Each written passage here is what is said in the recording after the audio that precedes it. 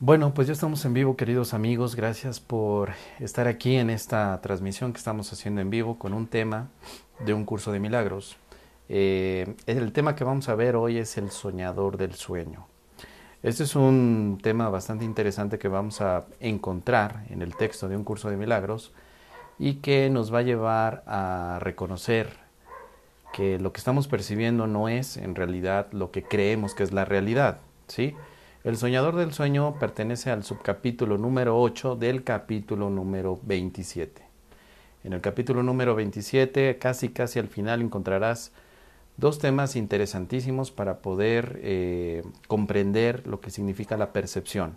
Está el soñador del sueño y por supuesto también está el héroe del sueño.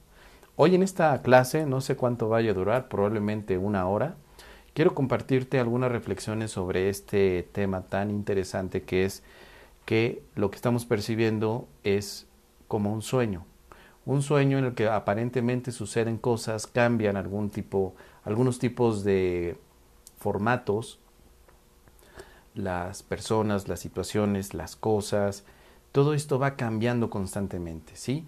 Pero la invitación con un curso de milagros siempre es desde el contenido. El contenido en vez de la forma.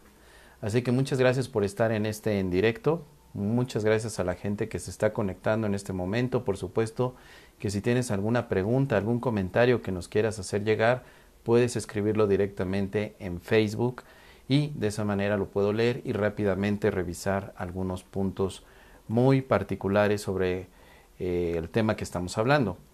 El soñador del sueño entonces se va a convertir en el enfoque en esta charla, ¿sí? Así que bueno, ya que tenemos todo listo, ya que está funcionando bien, veo que la transmisión está llegando, que ustedes están leyendo y viendo también lo que está apareciendo en la pantalla, voy a hacer algunos comentarios a este subcapítulo que eh, son bastante, bastante de reflexión. El párrafo número uno dice de la siguiente manera, sufrir es poner énfasis en todo lo que el mundo ha hecho para hacerte daño. En esto puede verse claramente la versión descabellada que el mundo tiene de la salvación. Al igual que en un sueño de castigo en el que el soñador no es consciente de lo que provocó el ataque contra él, éste se ve a sí mismo atacado injustamente por algo que no es él. Él es la víctima de ese algo, una cosa externa a él por la que no tiene por qué sentirse responsable en absoluto. Hagamos un alto ahí. Aquí vamos a tener muy en claro que lo que estamos percibiendo se parece muchísimo a un sueño en el que nosotros participamos y al principio creemos que somos un elemento más del sueño.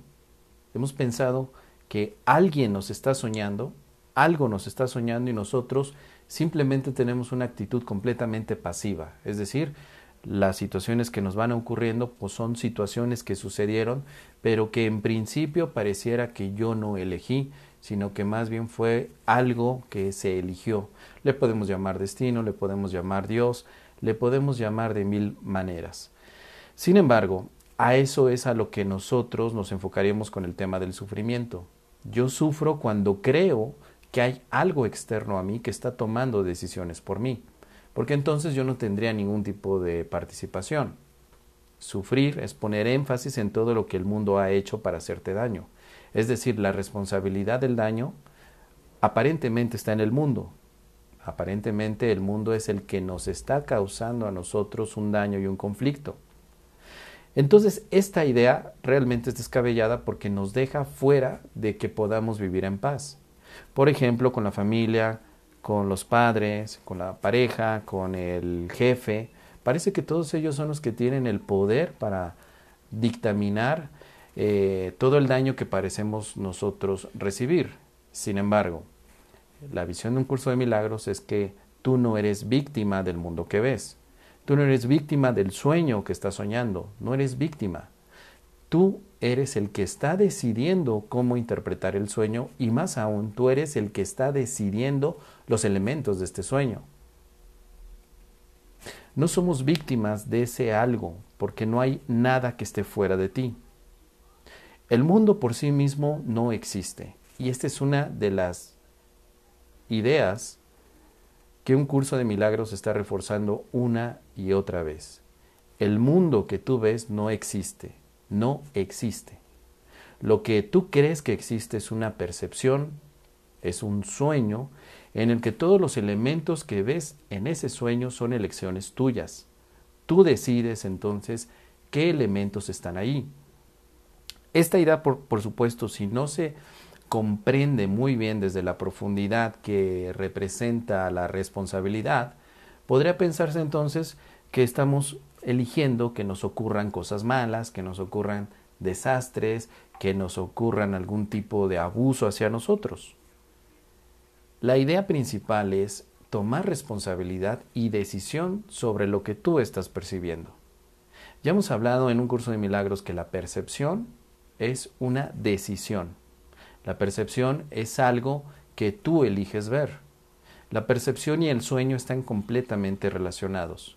El soñador del sueño está eligiendo qué quiere soñar en cada momento, no a nivel eh, de todo un rango de tiempo eh, eh, grandísimo. En particular, en cada instante del tiempo, el soñador del sueño está decidiendo qué soñar. Así que las cosas que le están sucediendo dentro del sueño son parte de sus decisiones basadas en su contenido. Hemos estudiado que tenemos dos contenidos, el contenido del miedo y el contenido del amor. En el contenido del miedo, el sueño es entonces un sueño que tiene formas atemorizantes y formas que nos hacen sentirnos víctimas, atemorizados, encarcelados. Por otro lado, un sueño que proviene desde el amor, nos hace ver un sueño en el que todos los elementos forman parte de un solo objetivo, que es la libertad, el amor, el perdón. Hay una diferencia enorme entonces desde dónde estás eligiendo soñar. Dice más adelante, él, eh, él es víctima de ese algo, una cosa externa a él por la que no tiene por qué sentirse responsable en absoluto. Él, es decir, el soñador del sueño, debe ser inocente porque no sabe lo que hace, sino solo lo que le hacen a él. Su ataque contra sí mismo, no obstante, aún es evidente porque es él quien sufre y no puede escapar porque ve la causa de su sufrimiento fuera de sí. Esta es una clave importante. Aquel que está sufriendo es porque no se ha dado cuenta que él eligió los elementos del sueño. Sin embargo, pensó que él es una víctima de un sueño global que él nunca pidió soñar y sin embargo está viviendo todos los, eh, todos los efectos de un ataque. Pensar de esa manera es lo que nos ha llevado a, todos, a nosotros sufrir. Eh, tenemos ejemplos muy claros. Yo estaba muy feliz aquí hasta que llegaste tú y me quitaste la paz. Eso es ser irresponsable, porque la paz nadie te la puede quitar. La paz se mantiene en ti porque es la realidad. Sin embargo, cuando tú transfieres la responsabilidad a un elemento de tu sueño, pierdes el control. Estás fuera del control que te permitiría a ti sentirte en paz. Así que el soñador del sueño necesita recuperar el control de que está soñando. Primer punto, estoy soñando, estoy soñando, estoy soñando. Esto es un sueño. ¿Sí? Primer punto. No significa que por ser un sueño voy a brincar desde el segundo piso para ver si como es un sueño puedo flotar. Cuidado, cuidado. No estamos diciendo esto. Estamos diciendo que si este es un sueño, es cambiable, es decir, todos los sueños cambian, se mueven. La gente actúa de una manera y después actúa de otra. Un día estamos con salud física y otro día no tenemos salud. Un día tenemos dinero y otro día no. O sea, el sueño tiene como característica la variabilidad está variando, se está modificando todo el tiempo. La ventaja de saber que esto es un sueño es reconocer que hay cambios y que los cambios no deberían de causarnos ningún tipo de efecto, porque los cambios del sueño no son significativos.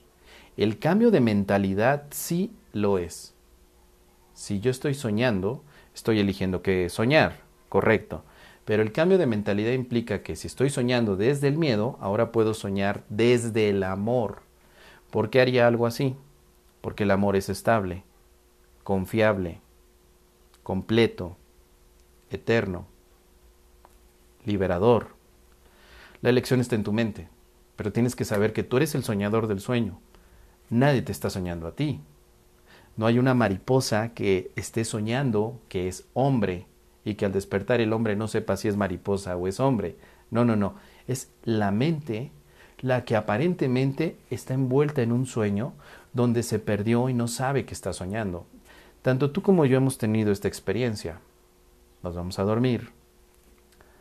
Comenzamos a entrar a ese mundo de sueños y de pronto empezamos a ver un sueño en el que estamos siendo partícipes. Como no sabemos que estamos soñando, pues todas las imágenes que aparecen ahí quizás nos están persiguiendo, quizás nos están dañando, quizás nos están amando, pero los sueños tienen la característica de ser caóticos y tanto tú como yo hemos tenido ese tipo de sueños. Al despertar por la mañana, si fueron sueños que tenían un contenido de miedo, les hemos llamado pesadillas. Cuando son sueños que tienen un contenido de amor, hasta despertamos con alegría y felices, muy inspirados. ¿De qué depende tener sueños de pesadilla a sueños de amor? De tu decisión, de ti. Ahora, ¿qué pasaría si después de que abres los ojos por la mañana no te dieras cuenta que todavía estás soñando y que esto es un sueño? Mira a tu alrededor en este instante. ¿Cuánto tiempo crees que todo esto va a durar? ¿Cuántos años van a durar las estructuras que tú estás observando? No solamente físicas, las estructuras sociales, morales, las estructuras de toda índole que ves en tu percepción. ¿Cuánto va a durar? Tarde o temprano todas se van a caer porque no son eternas. Esto es un sueño porque está cambiando todo el tiempo. Resistirse a los cambios del sueño no tiene sentido, es una pérdida de tiempo y de energía. No te resistas a los cambios del sueño, ni tampoco trates de controlar los elementos del sueño. Ve a la mente, que es la invitación de un curso de milagros. El origen del sueño está en el pensamiento, en tu mente. Si la mente es la que está pensando este sueño, ¿quién es el que está soñando? Yo. Yo estoy soñando esto. Así que la libertad del sueño de terror es el sueño de perdón. Esa es la parte que nos va a ayudar en un curso de milagros a elegir una mentalidad distinta. Cambiar de mentalidad significa cambiar la elección del contenido del miedo al amor. Voy a soñar con amor. Así que el sufrimiento o el sueño de sufrimiento no tendría sentido para el que desea soñar con la paz. Nadie puede estar sufriendo y al mismo tiempo estar en paz. O sueñas con el dolor o sueñas con la paz. Una vez más, ¿de quién depende esta decisión? Depende de mí. Yo decido en este momento dejar atrás los sueños que provienen de un contenido ególatra, del miedo, de la separación, de la del conflicto y, del, y, de, y de la idea de que no soy uno con Dios y, en vez de ello, elijo el sueño de perdón, de amor, de alegría, de dicha y, por supuesto, de unión. Los sueños de unión es el sueño feliz del que un curso de milagros habla. Una vez más te lo recuerdo porque me lo recuerdo a mí mismo. Estamos soñando. Esto no es real. Lo único que es real es tú identidad con Dios. Tú sí eres real, pero este sueño no es real. No te confundas, por lo tanto tú no eres un sueño. Tú eres el soñador del sueño, que es algo completamente diferente. Necesitamos muchísimo, pero muchísimo enfoque para reconocer que esto es un sueño, pero que tú eres real y que tú estás soñando un sueño que tampoco es un sueño eterno. Los sueños no pueden ser eternos, los sueños tienen un límite. Y cuando despertamos de ellos, nos damos cuenta que los sueños pasaron, se fueron, ya no tienen ningún tipo de significado. Por eso cuando nosotros perdonamos a nuestros hermanos, estamos en esa categoría. Lo que estamos haciendo es liberarnos de un sueño de dolor con ellos para soñar con ellos felizmente. Ese es el enfoque principal. El párrafo 2 dice de esta manera, ahora se te está mostrando que sí puedes escapar. Lo único que necesitas hacer es ver el problema tal como es y no de la manera en que lo has urdido. ¿Qué otra manera podría haber de resolver un problema que en realidad es muy simple, pero que se ha vuelto en densas nubes de complicación, concebidas para que el problema siguiera sin resolverse? Sin las nubes el problema se vería en toda su elemental simplicidad. La elección, entonces, no sería difícil, porque una vez que el problema se ve claramente resulta obvio que es absurdo. Nadie tiene dificultad alguna en dejar que un problema sencillo sea resuelto si ve que le está haciendo daño y que se puede resolver fácilmente. Y en este sentido, bueno, un curso de milagros siempre nos está eh, llamando una y otra vez, perdón, a reconocer que el problema sigue siendo también un sueño, un sueño de problemas. Pero hay que verlo como es, un problema es una ilusión. Nosotros creemos que tenemos problemas. Eso no quiere decir que realmente tenemos problemas. Soñamos con problemas. Tenemos que poner al problema tal como es, para que entonces veamos lo simple que puede ser resolverlo. Resolver un problema significa entonces que la solución la podemos adquirir inmediatamente. Solo cuando nosotros dejamos de complicar el sueño es cuando podemos encontrar la solución dentro del sueño que proviene de tu mente recta, la complicación. Me llama mucho la atención que aquí en el numeral 3 dice, ¿qué otra manera podría haber de resolver un problema que en realidad es muy simple, pero que se ha envuelto en densas nubes de complicación. Y esas densas nubes han sido eh, concebidas para que el problema siguiera sin resolverse. ¿No has tenido muchas ganas de, de pronto de reconocer que el problema se podría resolver de una manera simple, pero nosotros lo complicamos? El sueño que nosotros percibimos, el sueño de sufrimiento, está basado en una complicación. Nos complicamos todo lo que está sucediendo porque pensamos que la complicación es valiosa. Estamos equivocados. Complicar las cosas no es lo que nos hace valiosos. Nuestra valía ya está dada por ser hijos de Dios. Y al ser hijos de Dios, somos simplemente hijos de Dios. La complicación es un ámbito del miedo, del ego, de la separación. El ego se complica todo. Lo fácil lo complica y lo complicado lo complica más. La pregunta es, ¿qué estás viendo? ¿Complicación? Entonces ya no compliques. Para que este sueño pueda verse de una manera amorosa y después podamos despertar en Dios, el paso necesario es dejar de poner complicaciones en el sueño. No compliquemos lo que es simple y sencillo. Si somos extensores del amor, el mismo amor no es complicado. Amar no es complicado. Perdonar no es complicado.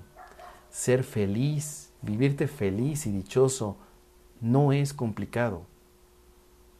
Entonces podemos tomar la decisión de, abandonar la complicación en beneficio de resolver cualquier asunto que nosotros vemos en el sueño.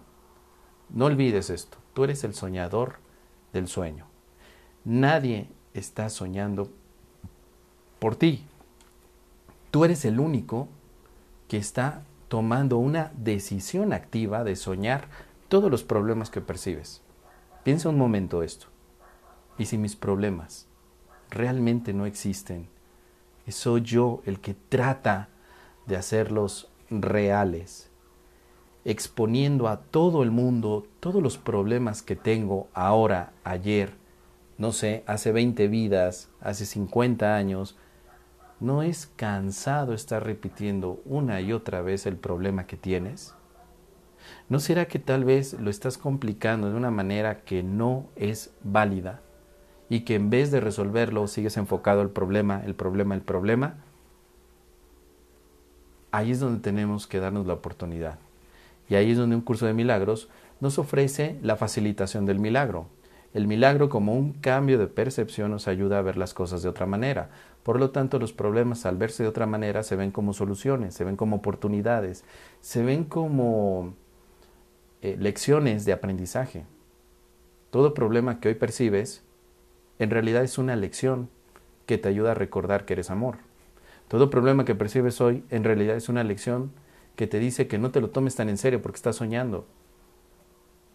Todo problema que percibes el día de hoy no es más que una forma de tratar de olvidarte de que tú eres puro amor. Tú no naciste para tener problemas, tú naciste para amar. Deja de estresar a tu mente llevándola a proyectar mil problemas en el mundo, en las personas, en tu propia situación. Tú no eres un ser problemático porque Dios no te creó problemático. ¿Por qué tenemos que seguir creyéndonos la gran mentira de que entre más problemas tenemos, más valiosos somos? Cuando la verdad es clara. Yo soy simplemente un hijo de, de Dios, perdón, que me ama y que yo también amo. ¿Te das cuenta? Hay algo muy, pero muy importante ahí, porque entonces podemos nosotros cambiar esta visión. Vamos a leer el párrafo número 3. Dice, el razonamiento, entre comillas, que da lugar al mundo, sobre el que descansa y mediante el cual se mantiene vigente, es simplemente este. Escucha muy bien. Tú eres la causa de lo que yo hago. Tu sola presencia justifica mi ira, y existes si piensas aparte de mí. Yo debo de ser el inocente, ya que tú eres el que me ataca, y lo que me hace sufrir son tus ataques. Todo el que examina este razonamiento exactamente como es, se da cuenta de que es incongruente y de que no tiene sentido. Sin embargo, da la impresión de ser razonable, ya que ciertamente parece como si el mundo te estuviese hiriendo y así no parece necesario buscar la causa más allá de lo obvio. ¿Qué te parece? Está interesante, ¿no? Porque básicamente esta es la llamada a despertar. Esta es la manera en la que tenemos que examinar nuestras quejas de todos los días. Si yo sigo olvidándome de que esto es un sueño y de que además yo decidí soñar esto, entonces voy a repetir esta frase que viene entrecomillada. Y le voy a decir a mi hermano, ¿eh? O le voy a decir a los políticos, o le voy a decir al presidente, o le voy a decir a la pareja, o le voy a decir a los hijos, ¿eh? o le voy a decir a todos los enemigos, les voy a decir esto, tú eres la causa de lo que yo hago, ¿eh? Tu sola presencia justifica mi ira, y tú existes y piensas aparte de mí. Yo debo de ser el inocente ya que tú eres el que me ataca. Yo no te estoy atacando, tú me atacas. Y lo que me hace sufrir son tus ataques. Ese razonamiento es ego puro ego. Un ego víctima, un ego irresponsable, un ego que pretende, pretende ser grande a través de la imagen pequeñita que se trata de dar a los demás. Y eso es una equivocación. Si tú y yo hemos pensado eso, tenemos que dejar de pensar. Nadie, y vamos a negar esto que está entre comillas, vamos a invertirlo, Nadie es la causa de lo que yo hago. Escucha muy bien. Nadie. Yo estoy decidiendo lo que estoy haciendo porque yo soy el que está soñando este sueño. Nadie lo está soñando por mí. Soy yo el que lo está soñando. Así que mis hermanos o mis enemigos no son la causa de lo que yo hago. Cuidado. Soy yo el que está tomando la decisión de hacer algo. Segundo, tu presencia no justifica mi ira, y tú no existes ni tampoco piensas aparte de mí. Es decir, tú y yo no tenemos pensamientos separados, y esa es una de las ideas básicas y claves en un curso de milagros. Tú y yo no tenemos pensamientos separados porque somos la misma mente, y la misma mente es el soñador que está soñando este sueño. Así que yo no voy a justificar mi ira por lo que tú haces o lo que tú no haces. Cuidado. Porque tendemos todavía a confundirnos y pensar que es válido que yo me enoje, porque pues porque el país está horrible, porque la policía no hace nada, porque hay corrupción, porque no me quieren mis amigos, porque me corrieron del trabajo, porque nadie me, me ama, porque yo les quiero decir algo y nadie me, me ayuda. Todas esas son ilusiones, pretextos que tienen un contenido de miedo y de separación. Y si seguimos por ese camino, seguimos confundidos y el desenlace de toda esta situación es más sufrimiento. Yo sé que tú no quieres soñar un sueño de sufrimiento. Yo no lo quiero, yo no quiero soñar con el sufrimiento. El sufrimiento no es un maestro, no ayuda para nada. Y hay que ser muy determinantes en esto porque si no, nos confundimos como practicantes de milagros. El obrador de milagro necesita independizarse de la idea del sufrimiento y de la víctima. Independizarse. Ser bastante claros en esta situación. Yo como obrador de milagros decido soñar el sueño milagroso. ¿Cuál es? El sueño donde tú no me estás atacando porque tú eres mi hermano. Donde la ira que yo pueda sentir nunca está justificada. Por lo tanto, dejo de enojarme. Nosotros nos enojamos y nos olvidamos de que la ira no está justificada. Por el contrario, yo me enojo y digo, es que verdad que tengo razón de enojarme, por supuesto. Y vamos y le preguntamos a todas las figuritas del sueño si es verdad que tengo razón en enojarme. Estoy equivocado, hermano, no me puedo estar enojando todo el tiempo porque el enojo no forma parte de mi creación. Dios no me creó enojado. Dios me creó bondadoso, en amor, compasivo, paciente, servicial. Yo elijo soñar un sueño que provenga de la mente de Cristo o de la expiación, más no un sueño que provenga del revoltijo mental que tiene el ego. Hasta aquí es donde yo defino y digo, basta, yo no voy a soñar más con lo que me diga el ego. Porque el ego podría estar por ahí con todas sus ideas equivocadas, indicándome qué es lo que yo debería de soñar. Y esto claramente lo vemos en todas las pesadillas pero basta. Yo no quiero volver a soñar pesadillas en esta percepción. El trabajo de los obradores de milagros es invitar a los demás a que dejen de soñar pesadillas, a que elijan soñar en amor. Y ese es el punto de este, de este párrafo que estamos revisando. ¿Hasta qué momento vas tú a decidir a, a, a vivir con amor? Pero a elegir con amor, por supuesto.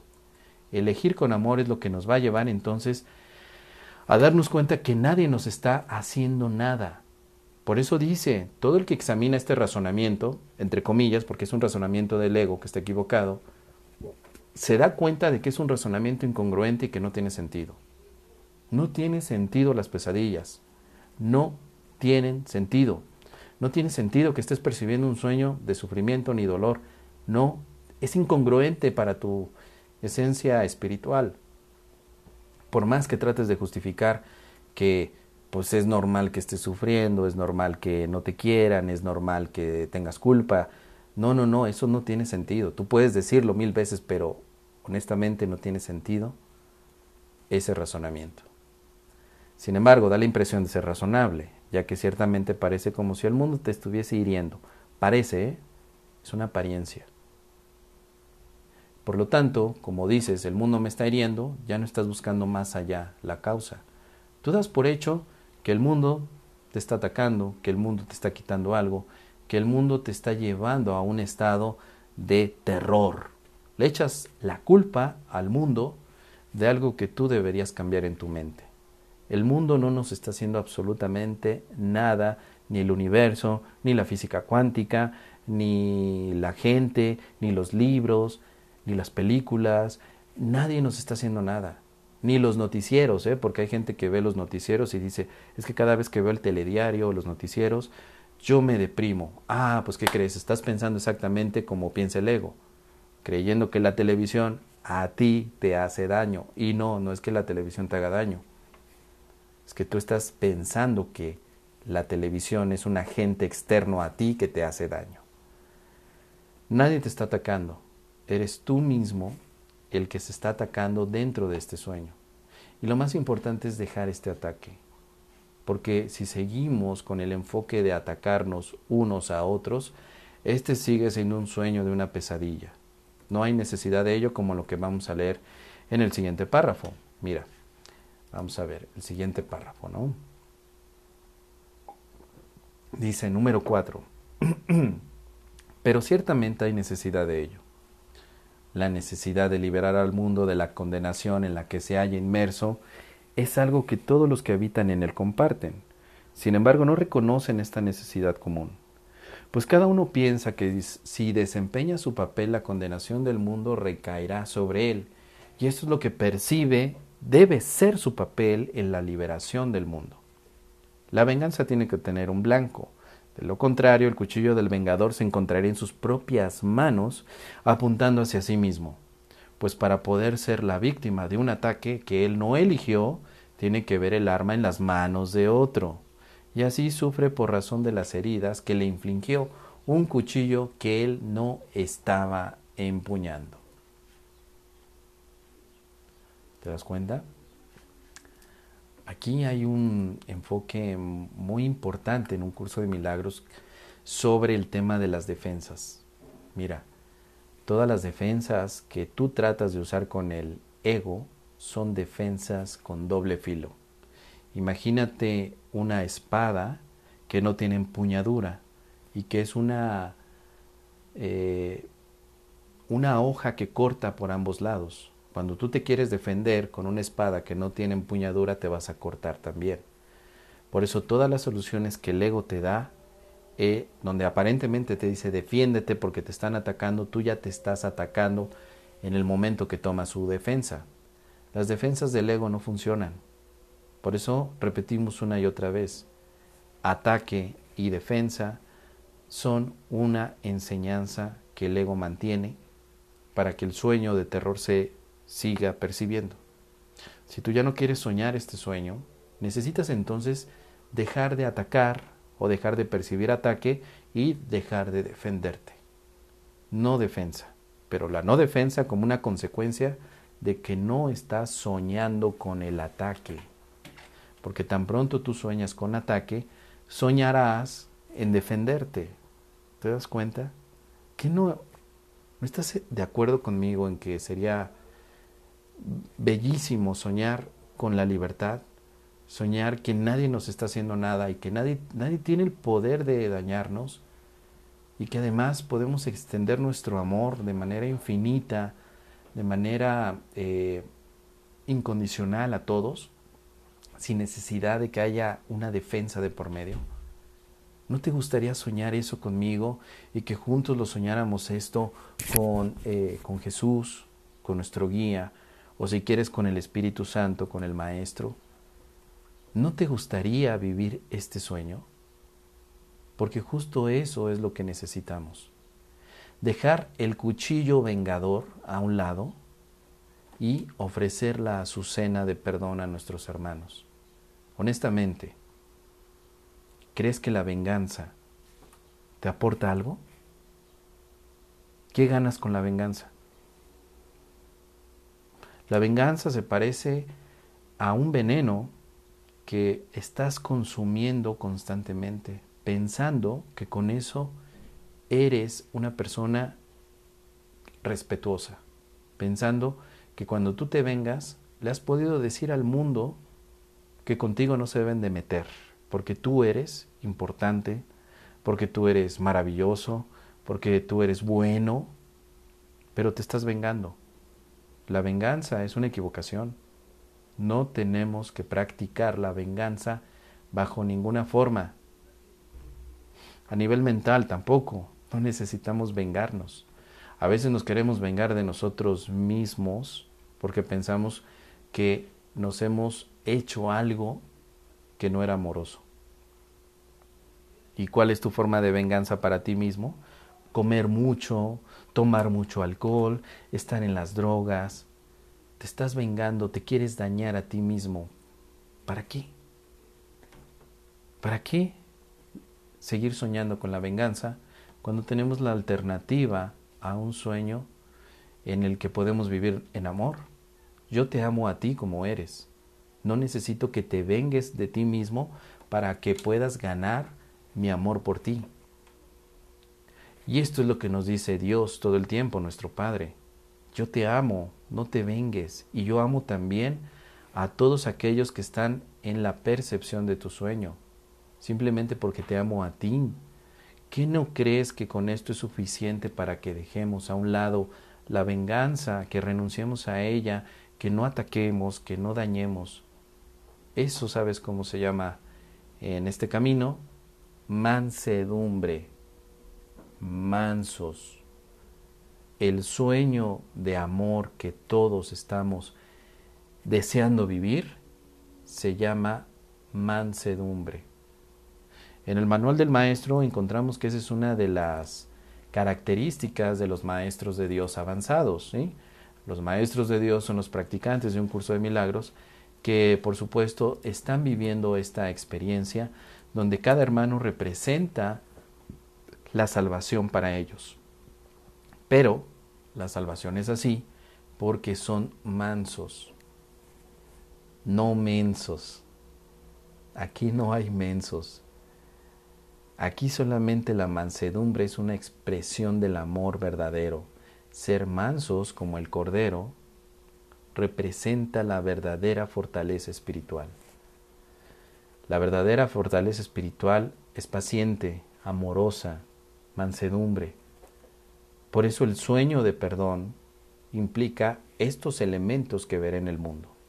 Si yo decido soñar con mansedumbre, todos mis elementos del sueño estarán enfocados a la mansedumbre. Y la mansedumbre, por supuesto, es contrario a la idea de ataque y venganza. No puede haber venganza cuando somos mansos, amorosos. Maestro Jesús es una representación de esta mansedumbre, por supuesto, tenemos un gran ejemplo con él. Pero no es porque Él sea especial, es porque Él tomó responsabilidad de lo que quería soñar. Vamos a soñar tú y yo con mansedumbre eligiendo el amor. Vamos a hacerlo, pero ya, en este momento, no mañana, en este instante en el que estamos reconociendo lo que significa el soñador del sueño. Si tú eres el soñador del sueño, puedes decidir soñar sin ataque, defensa y venganza. El párrafo número 5 dice de esta manera, este es el propósito del mundo que se ve. Déjenme ponerlo, aquí está, listo. Ese es el propósito del mundo que él ve. Y desde ese punto de vista el mundo provee los medios por los que dicho propósito parece alcanzarse. Los medios dan testimonio del propósito, pero no son de por sí la causa, ni la causa puede cambiar porque se le vea separada de sus efectos. La causa produce los efectos, los cuales dan luego testimonio de ella, no de sí mismos. Mira, pues, más allá de los efectos. No es en ellos donde radica la causa del sufrimiento y del pecado. No centres tu atención en el sufrimiento ni en el pecado, ya que no son sino reflejos de lo que los causa. Bueno, es eh, maravilloso este enfoque. Por eso lo tengo ahí subrayado en mi, en mi Kindle, en el libro electrónico para no olvidarme. No centres tu atención en el sufrimiento, Mos, no centres tu atención en el sufrimiento ni en el pecado. Ahí no está nuestro enfoque, porque son reflejos o son efectos de la causa. No tiene sentido que yo trate de cambiar los efectos. Tiene sentido hacer un cambio de mentalidad. La mente es la causa, punto no hay más. La mente, no el mundo.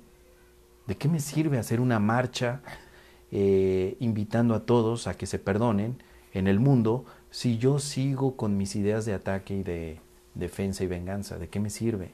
De nada. Nada, eso no va a tener efecto cero.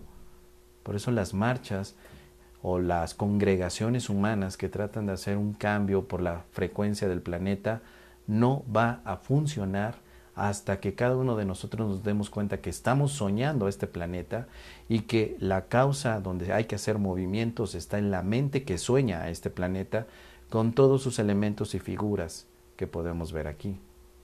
Si yo sigo enfocado en el sufrimiento, me quedo atorado, atascado, me quedo ahí, prensado al sufrimiento.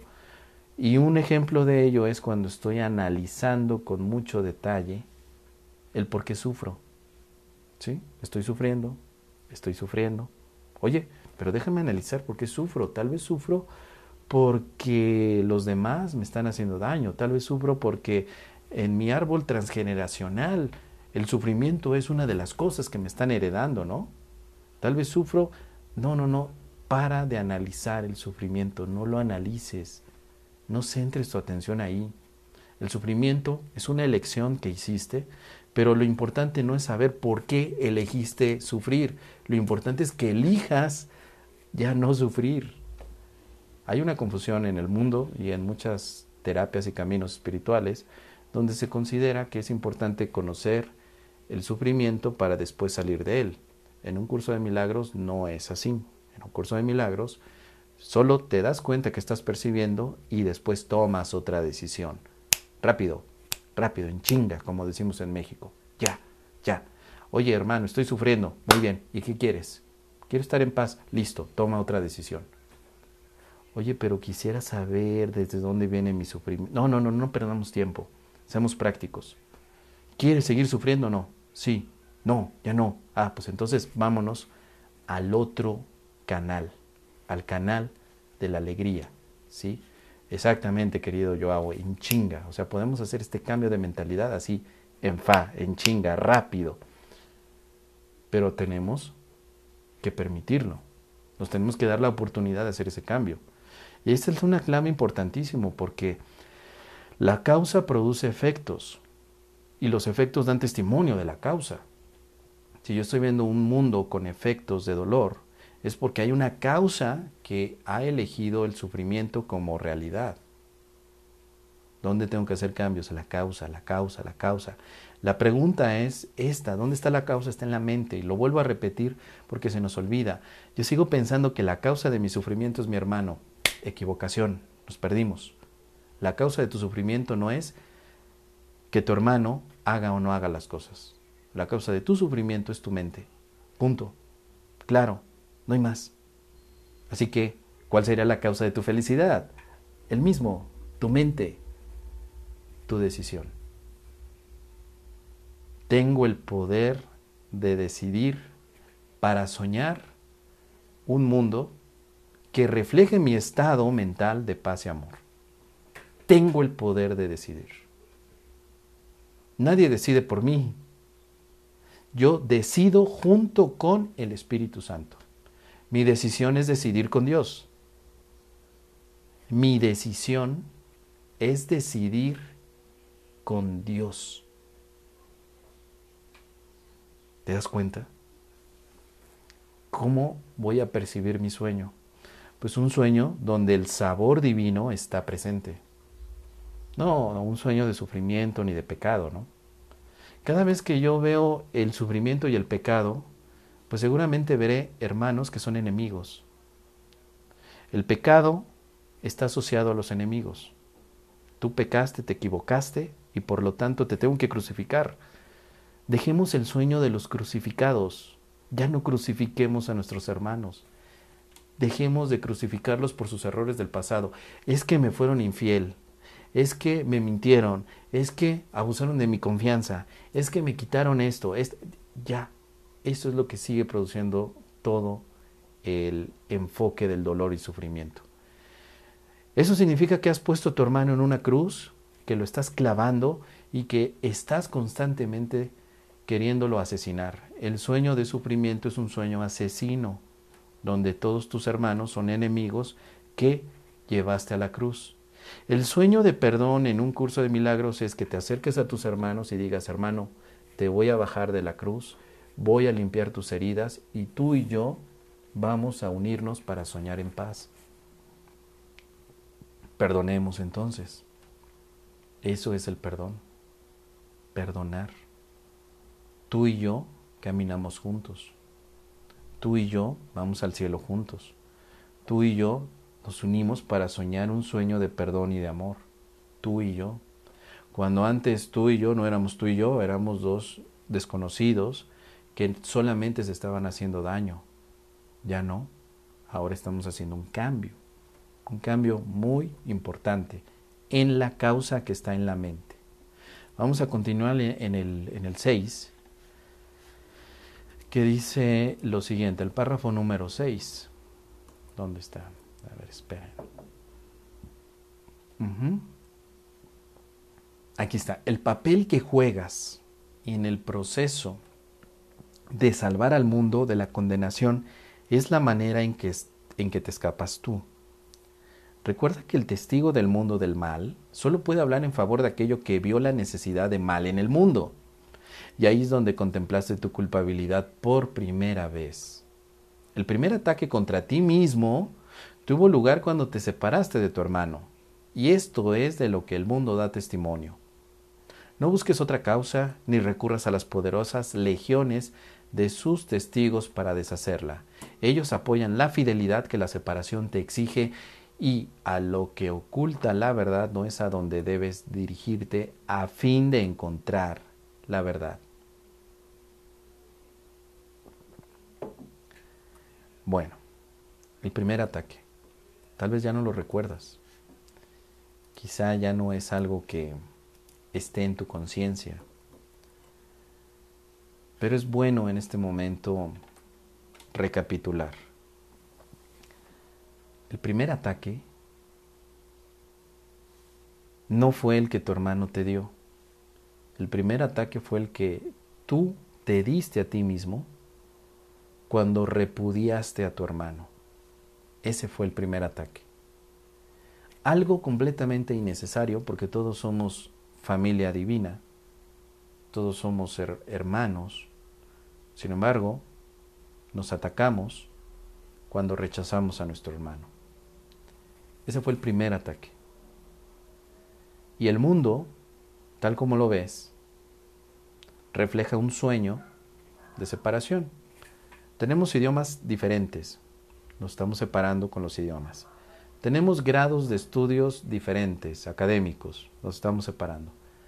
Tenemos eh, leyes económicas, políticas, leyes de buena conducta diferentes reglamentos de tránsito diferentes, leyes diferentes. Toda esa diferencia son reflejos de la separación, donde hay sectores y hay grupos.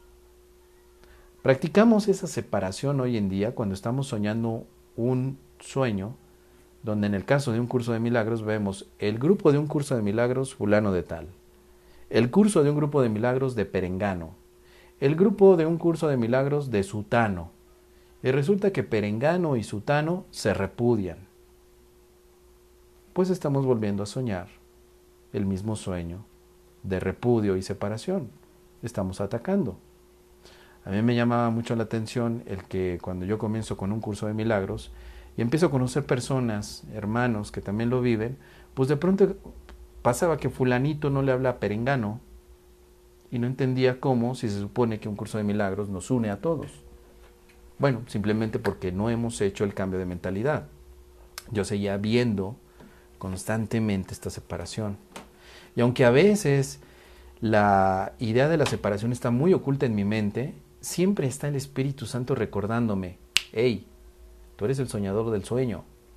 Deja de estar criticando a los demás porque realmente estás perdiendo tiempo en unirte a los demás cada crítica, cada burla hacia los grupos de cualquier índole, solo hacen reflejar el estado de ataque primario que nos hicimos, la separación. No nos podemos separar de nuestros hermanos porque son parte de nosotros, están con nosotros y además porque todos somos hijos de Dios. Podemos opinar y pensar diferente tú y yo, pero yo no me separo de ti. Podemos a lo mejor tener ideas diversas sobre diversos temas, pero yo no me separo de ti. Podríamos tener una relación amorosa o no tenerla a ojos del mundo, pero yo no me separo de ti. Pudiéramos ser empleado o empleador y hacer funciones diferentes, pero yo no me separo de ti. Porque he elegido soñar el sueño de amor, el sueño de perdón, el sueño en el que no hay separación, justo lo contrario que el ego nos ha invitado a soñar. El sueño de separación surgió a través del primer ataque que te hiciste a ti mismo cuando te separas con Dios. Eso es un ataque. Ir por el mundo diciendo que Dios no nos ama es un ataque a nosotros mismos. Eso no es compasión hacia ti, es todo lo contrario. Es un ataque a ti mismo. Cada vez que tú no reconoces que Dios te ama, o sea, reconocer, ¿eh? darte cuenta, vivirlo, no intelectualmente, ah, sí, Dios me ama, claro, sí, seguro, seguramente me ama. No, no, no, no. Reconocer y decir, sí, Dios me ama. Me estoy dando cuenta que me ama. Entonces voy a soñar el sueño del amor. Pero si digo, Dios me ama, pero no siento que me ame, yo creo que está muy ocupado, yo creo que Dios se da cuenta que soy muy malo y que he cometido malos actos en la vida. No, no, no, Dios seguramente estará con muchas, pero muchas cosas por decirme, pues me estoy atacando. La culpa es un sueño de ataque. Si ya no quieres soñar eso, decide soñar que estás con Dios. Siempre. Mi elección es por Dios. Voto por Dios porque Él es el único que gobierna mi mente. No hay nadie más. Vamos al siguiente punto. ¿Dónde nos quedamos? En el, en el 7, ¿no? Los testigos del pecado ocupan un reducido espacio. Y es ahí donde encuentras la causa de la perspectiva que tienes acerca del mundo. Hubo un tiempo en que no eras consciente de cuál era la causa de todo lo que el mundo parecía hacerte sin tú haberlo pedido o provocado. De lo único que estaba seguro era de que entre las numerosas causas que percibías como responsables de tu dolor y sufrimiento, tu culpabilidad no era una de ellas. Ni tampoco eran el dolor y el sufrimiento algo que tú mismo hubieses pedido en algún modo. Así es como surgieron todas las ilusiones. El que las teje no se da cuenta de que es él mismo quien las urde, ni cree que la realidad de éstas dependa de él. Cualquiera que sea su causa es algo completamente ajeno a él y su mente no tiene nada que ver con lo que él percibe. No puede dudar de la realidad de sus sueños porque no se da cuenta del papel que él mismo juega en su fabricación y en hacer que parezcan reales. Pues es el tema de la responsabilidad. Es el tema de qué tan responsable soy de las mismas fabricaciones mentales que yo urdo que yo tejo. ¿Hasta qué punto me he permitido examinar mi responsabilidad en lo que percibo? ¿Hasta qué punto he aceptado que lo que percibo es una decisión mía? Intelectualmente el curso me dice esto, me dice aquello, suena bien, suena interesante. Pero tan pronto cierro el libro, se me olvida todo y sigo echando la culpa hacia todo lo demás, hacia un mundo que parece estarme atacando, hacia un karma que parece atacarme, hacia una energía que parece pesarme y hacia mil cosas. Pero el que se da cuenta que está soñando, comprenderá que él mismo está colocando todo lo que sueña. Todo. Si te das la oportunidad de examinar este pensamiento, te vas a dar la oportunidad, por supuesto, de reconocer que eres tú mismo el que puede entonces decidir soñar el sueño de perdón y el sueño de Cristo. Este sueño de perdón, este sueño crístico, es un sueño que nos va a llevar, por supuesto, al reconocimiento de que soy responsable de lo que estoy pensando y elijo pensar con el Espíritu Santo. El sueño del Espíritu Santo no es un sueño nuevo para el Espíritu Santo. Es un sueño que ya está determinado por todo aquello que se ha corregido en la mente y que ahora puede entonces verlo. El mundo perdonado, al cual el curso de milagros hace referencia, sobre todo en las últimas secciones del, eh, libro de ejercicios, representa el sueño feliz y también es sinónimo del sueño que Cristo ha soñado por ti. Es decir, tú no necesitas fabricarte un sueño feliz con tus propios elementos limitados en este momento. Solo necesitas cambiar de mentalidad y aceptar el sueño feliz que Cristo ya soñó por ti. En todo este punto, nuestro Maestro, el Maestro Espíritu Santo, ha tenido la alternativa siempre para que nosotros decidamos con Él los elementos del sueño. Pero ¿cómo vamos a llegar a ese punto si ni siquiera nos damos cuenta que nosotros estamos soñando? Y más aún, que yo soy el soñador del sueño.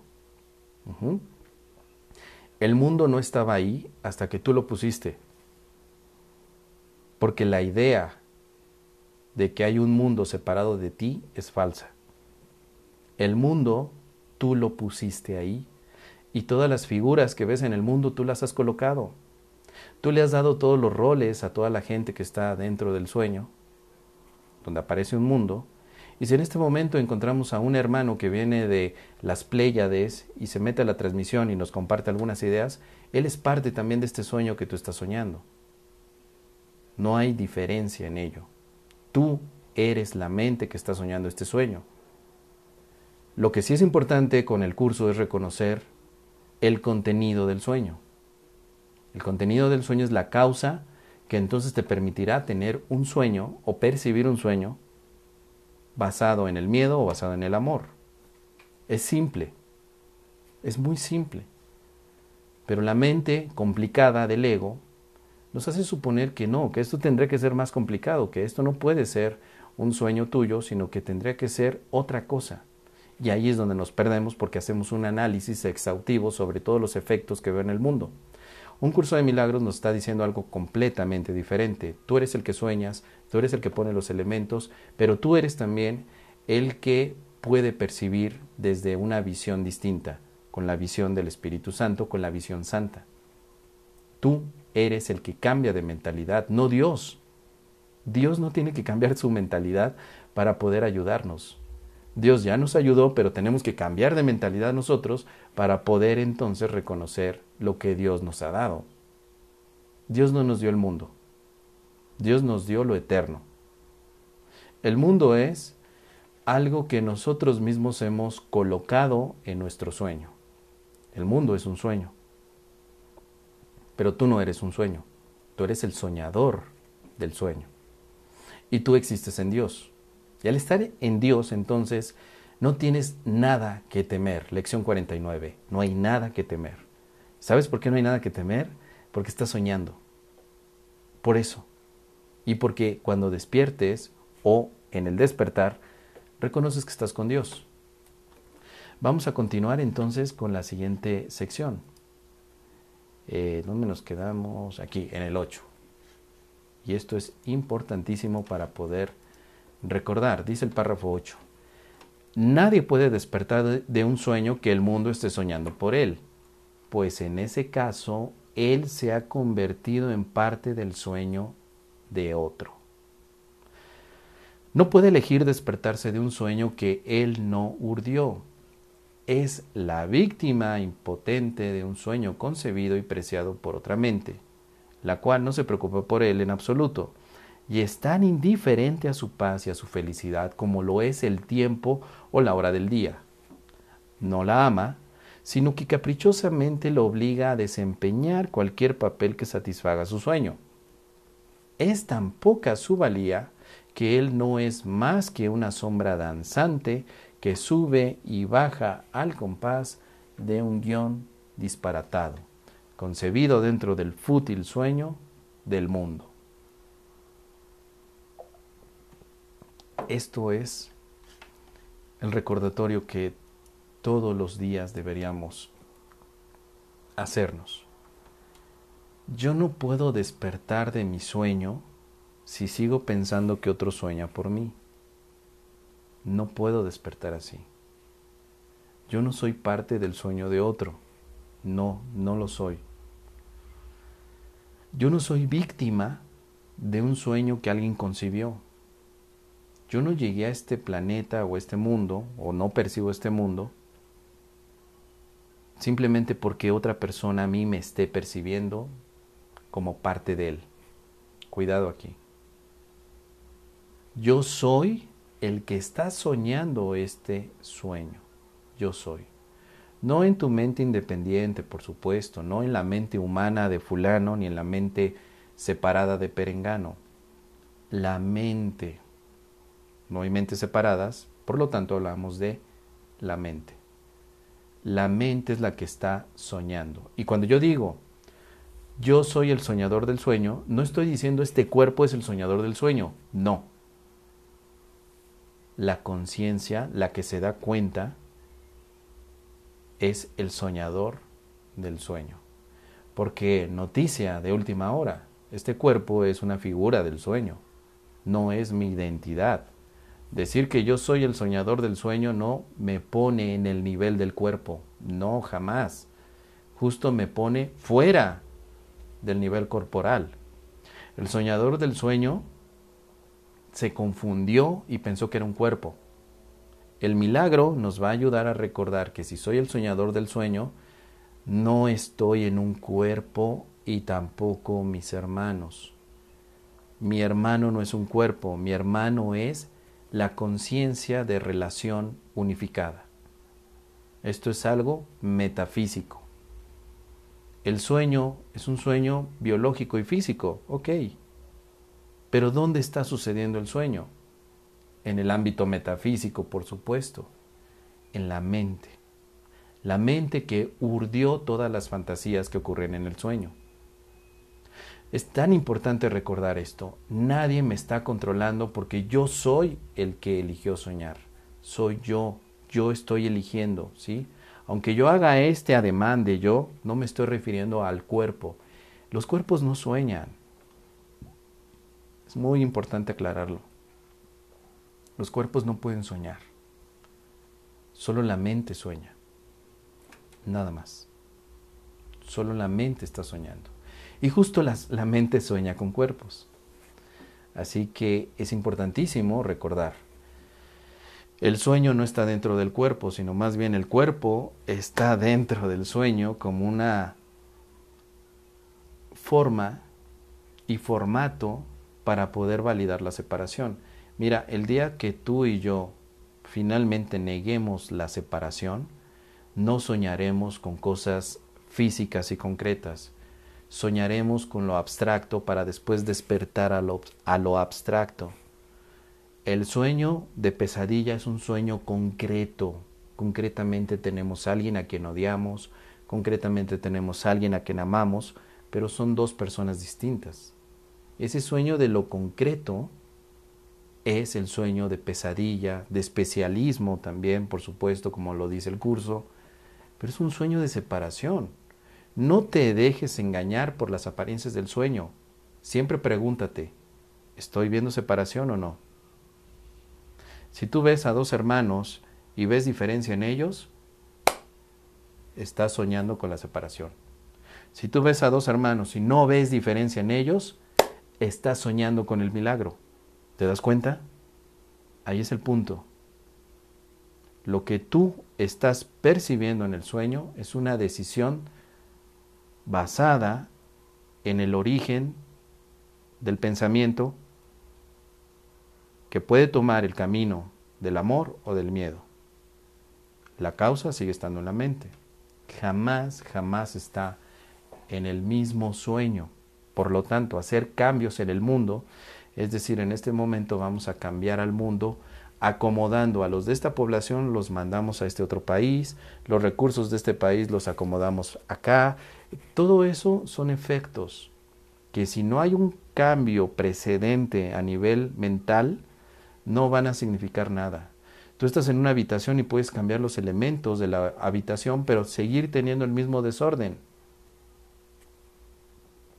El orden comienza cuando mentalmente sabes dónde va cada cosa.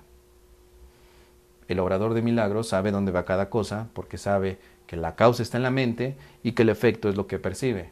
Punto, no hay más. Además, el obrador de milagros que ha avanzado y que se reconoce como hijo de Dios sabe que la causa con C mayúscula es Dios y que el efecto de la causa es el mismo, el Hijo de Dios. Y desde ese punto de vista ya no hay más que hacer. Hemos despertado en Dios. Vamos al siguiente, ¿dónde tenemos? Aquí está, el siguiente punto. En el siguiente punto dice el 9. Esta es la única imagen que puedes ver, la única opción que tienes ante ti, la otra posible causa si es que tú no eres el soñador de tus propios sueños. Y esto es lo que eliges cuando niegas que la causa del sufrimiento esté en tu mente. Alégrate de que lo esté, pues de esta manera tú eres el único que puede determinar tu destino en el tiempo.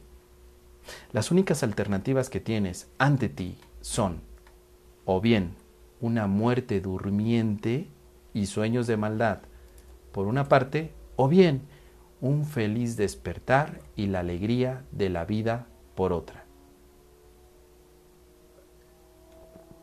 Bueno, esto es maravilloso porque Jesús nos pone aquí entonces, en definitiva, solo dos caminos o te sueñan o tú sueñas. Y hemos examinado claramente las implicaciones de cada una de estas decisiones.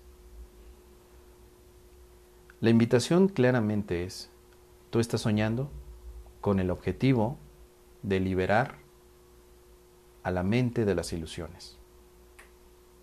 Alégrate de que eres tú el soñador del sueño. Alégrate alégrate, goza, disfruta. Puedes en este momento decir gracias, gracias Padre, porque estoy recordando que yo soy el soñador de este sueño, que todo el sufrimiento ya pasó, no tiene ya importancia por qué decidí soñar con sufrimiento, ya hoy ya no importa. Lo que sí me importa es saber que hoy puedo decidir soñar diferente, desde la causa, no desde el efecto. Eso sí tiene importancia, eso sí es maravilloso, porque entonces declaro mi independencia del sufrimiento y del dolor. No tenemos por qué vivir en donde no queremos. Yo no quiero vivir en la zona de terror ni sufrimiento. Yo no quiero ilusiones de sufrimiento ni dolor, no las quiero. No las necesito, no me son útiles no tienen valor, son insignificantes. Valen menos que nada todas las ilusiones enfocadas al sufrimiento y al dolor. Por lo tanto, mi decisión es clara y es determinante. Elijo soñar el sueño de Cristo. Elijo soñar el sueño de la paz. Elijo soñar con el Espíritu Santo. Elijo soñar con la paz de Dios. Punto. Esto se acabó no hay más. Si tengo el poder de decidir, voy a usar mi poder entonces, no para cambiar los efectos del mundo, no, voy a usar mi poder para decidir soñar con Dios. Ah, eso es más interesante, porque cambiar los efectos del mundo es como cambiar las fichas de un ajedrez. Cambias esto por esto y esto por aquello y listo. No, no cambiemos las fichas, cambiemos la mentalidad. Una y otra vez nos recuerda Jesús mucho este aspecto para que seas tú entonces el que sea responsable con el sueño que estás soñando. Voy a cambiar mi mentalidad. Acepto el plan de Dios para mí. Acepto la voluntad de Dios para mí. Y voy a soñar desde la voluntad de Dios. Nada más. No hay otra opción y no necesito más opciones. Cerramos de una vez el contrato con Dios para entonces convertirme verdaderamente en una expresión en este sueño que estoy soñando del amor de Dios. Nada más. Yo no tengo por qué seguir dándole tanta importancia a todas las expresiones que el ego una y otra vez intenta involucrar en un sueño que no significa nada. Ya me cansé, ya me aburrí y por encima de todo no significa nada. ¿Para qué sigo gastando tiempo dentro del sueño cuando bien podría ocupar este sueño y este tiempo dentro del sueño para deshacerlo? el deshacimiento del sueño del miedo nos va a llevar al último sueño que se sueña con el Espíritu Santo, la paz. Y después el despertar. Así que hago lo que me corresponde en este instante, lo que me corresponde en este momento, en este instante. Así, cada momento es una decisión del sueño feliz. Hoy decido el sueño feliz, en este momento decido el sueño feliz. Ahora, ahora, ahora, el sueño feliz. Estoy sufriendo, ey, ey. ¿Qué decides? ¿El sueño de terror o el sueño feliz? Decido el sueño feliz. Nada más. Ese es el punto con el que podemos soñar desde la decisión máxima para poder vivir esta experiencia de vida desde una concepción distinta. El sufrimiento no significa nada. Y lo decimos una y otra vez porque la verdad es que hemos idolatrado tanto al sufrimiento que pensamos que nos puede aportar algo. Si en el pasado nos aportó algo, ya no importa. No estamos en el pasado, estamos en el presente. Y en el presente el sufrimiento no me funciona para gozar la buena vida. Es decir, el sueño feliz es la buena vida. Porque somos hijos de la buena vida, no de la mala vida.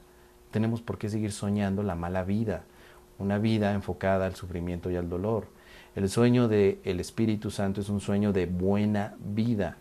Una cosa es soñar con la idea de la vida y la otra es vivir realmente. Y eso es lo que haremos en el despertar con nuestro Padre. Vivir. Bien, vamos a continuar. Tenemos em, el 9. Esta es la única imagen que puedes ver, la única opción que tienes ante ti la otra posible causa si es que tú no eres el soñador de tus propios sueños. Y esto es lo que eliges cuando niegas que la causa del sufrimiento esté en tu mente. Alégrate de que lo esté, pues de esta manera tú eres el único que puede determinar tu destino en el tiempo. Las únicas alternativas que tienes ante ti son o bien una muerte durmiente y sueños de maldad por una parte, o bien un feliz despertar y la alegría de la otra vida. Vamos al 10 porque ya lo había leído el 9. Bueno, no importa. Lo volvimos a leer Reforzamos y ahora sí vamos al párrafo 10. ¿Qué otras alternativas tienes ante ti, sino la vida o la muerte, despertar o dormir, la guerra o la paz, tus sueños o tu realidad? Existe el riesgo de pensar que la muerte te puede brindar paz, porque el mundo equipara el cuerpo con el ser que Dios creó. No obstante, una cosa jamás puede ser su propio opuesto. Y la muerte es lo opuesto a la paz porque es lo opuesto a la vida. Y la vida es paz. Despierta y olvida todos los pensamientos de muerte y te darás cuenta de que ya gozas de la paz de Dios. Sin embargo, si es cierto que realmente puedes elegir, tienes entonces que ver las causas de las cosas entre las que eliges exactamente como son y dónde se encuentran. Bueno, interesante, esta aclaración. El cuerpo no es el ser que Dios creó. El cuerpo no es el ser que Dios creó. El cuerpo que tú percibes y los cuerpos de los que ves no son creaciones de Dios. Los cuerpos siguen siendo sueños, una imagen mental. El cuerpo por sí mismo no tiene vida, no muere, no se enferma.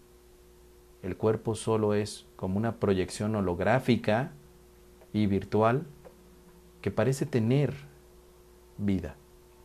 Tú no eres ese cuerpo. De ahí que tenemos una serie de ejercicios que nos recuerdan esto. Yo no soy un cuerpo. Yo soy libre porque soy tal como Dios me creó. Esta es una diferencia importantísima que tiene un curso de milagros versus otros caminos espirituales, donde en otros caminos espirituales tú eres cuerpo, tú eres mente y tú eres espíritu. Y se te exhorta que tengas un equilibrio entre los tres. En un curso de milagros, no, no es así. En un curso de milagros tú solamente eres un ser espiritual. Nada más. Tú no estás metido en un cuerpo, ¿eh? Si tú estás soñando con un cuerpo, no estás metido en el cuerpo, por favor. Si tú estás soñando en un cuerpo, podrías soñar en un animal o en el cuerpo de un animal.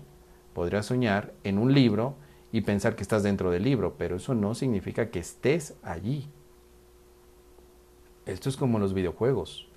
Cuando tú estás tomando el rol en un videojuego y estás eh, llevando al personaje a diferentes puntos, ahora fíjense que me, me, trae a la memoria el juego de God of War.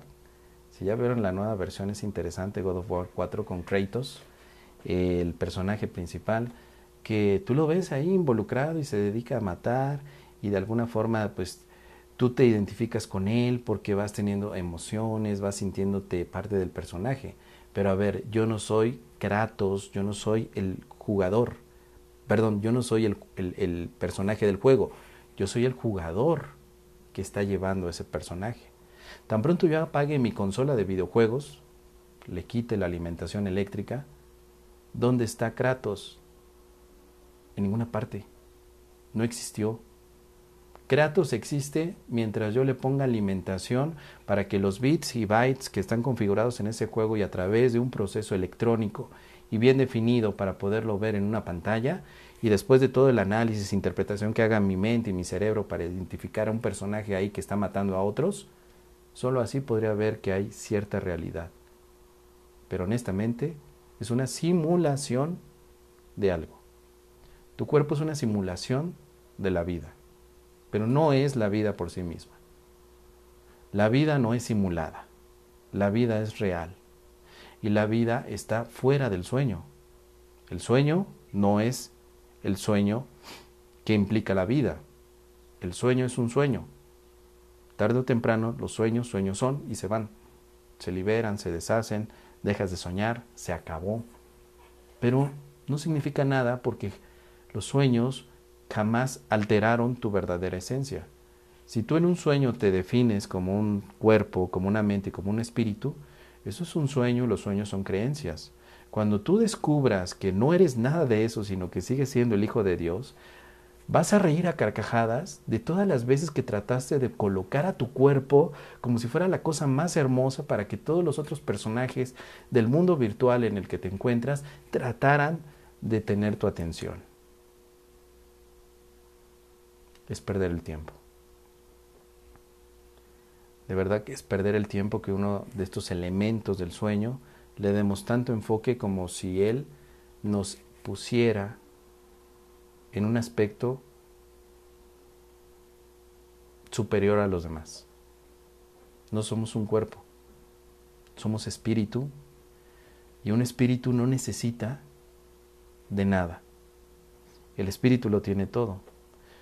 Obviamente el espíritu ni se enferma, ni sube de peso, ni necesita hacer nada para estar en paz.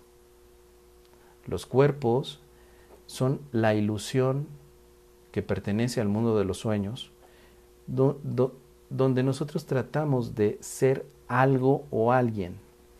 Y esa es la ilusión, la más grande de las ilusiones. Yo no voy a ser alguien a través de este cuerpo, yo ya soy alguien a través de Dios. Punto final, no hay más que decir. Yo estoy soñando este sueño, muy bien, estoy soñando en este cuerpo, pero mi propia mente puede hacer que este, este cuerpo luego lo sueñe de otra manera. ¿Por qué me voy a ofender si este, este cuerpo lo sueño ahora con estas características y al minuto siguiente sueño a este cuerpo con otras características? ¿Por qué me voy a preocupar? ¿Por qué me voy a alterar si solamente es un sueño? La clave está reconocer que estoy soñando, pero yo realmente estoy en Dios. Esa es la clave. Porque si todo lo dejamos a nivel de sueño, da miedo. Es decir, estoy soñando y entonces yo ya no estoy, yo no soy real. Cuidado. Estás soñando, pero solamente estás soñando elementos que cambian. ¿Eres real? Sí, tú existes, pero en Dios. Ahora mismo existes en Dios. Eh, dentro del sueño tú no existes. No existimos aquí en el sueño. Estamos soñando al sueño.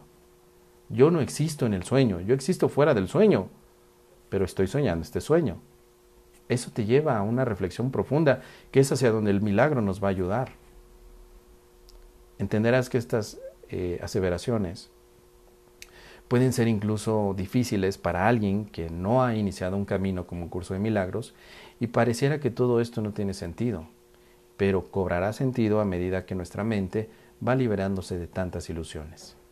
Vamos a leer entonces la última parte, creo que sí es el, párrafo 11, 12, 13, 14, ah, no, nos falta 15, porque son cosas muy, muy interesantes. El 11 dice de esta manera, ¿qué elección puede hacerse entre dos estados cuando solo se reconoce claramente uno de ellos?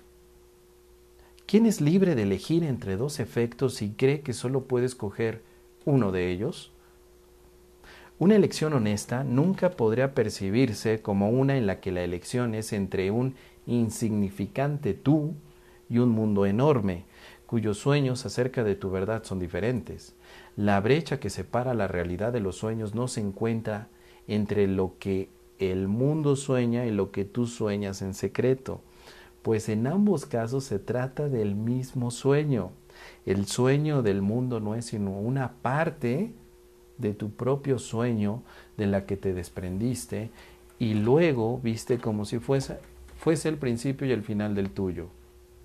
No obstante, lo que dio comienzo al sueño del mundo fue tu propio sueño secreto, el cual no percibes, si bien es lo que lo causó la parte que ves de cuya realidad no dudas.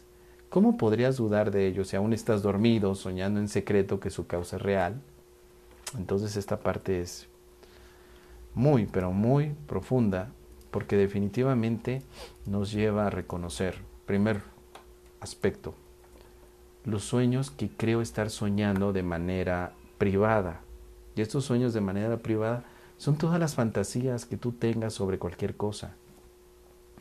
Muchas veces tenemos, ahí tengo el sueño de poder ir a Cancún y ahí comenzar a trabajar donde yo dé algún tipo de trabajo holístico y bueno, ese es mi sueño.